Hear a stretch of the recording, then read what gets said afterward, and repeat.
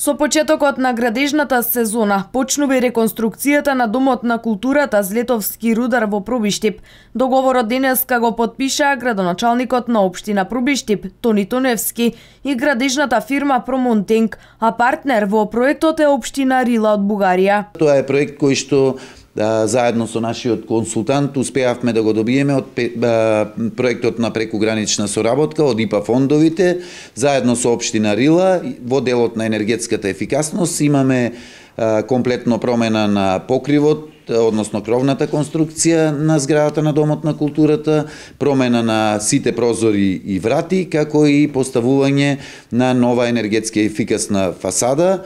Целиот овој проект чини а, околу 158.000 евра, односно околу 9,5 милиони денари беше најповолната понуда која што е избрана. Рокот за изградба е 9 месеци, но представникот од фирмата вели дека градежните активности ги започнуваат веднаш и очекува за околу 4 месеци да се реализира овој проект. Па 4 месеци сметаме дека ќе бидат доволни затоа што сега почнува градежната сезона. Првата работа што треба да ја направиме е да го садираме кровот.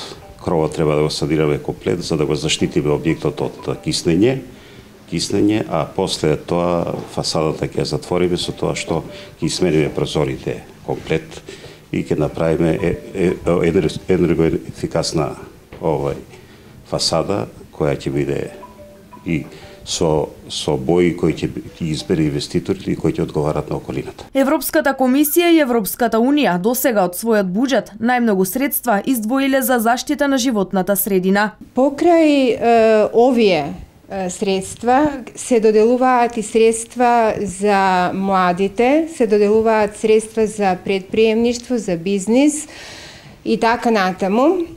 Меѓутоа, Обштина пробиште преши да аплицира е, за енергетска ефикасност, за да може да се оспособи зградата и за да може да се заштеди енергија, како приоритет на Обштината. Општина Пробиштип ќе обезбеди дополнителни средства за внатрешно уредување на просториите, а во кои по реконструкцијата ќе биде сместена општинската администрација, односно објектот да биде општинска зграда, а вработените од Домот на културата Злетовски рудар ќе бидат сместени во реконструираното кино во Пробиштип.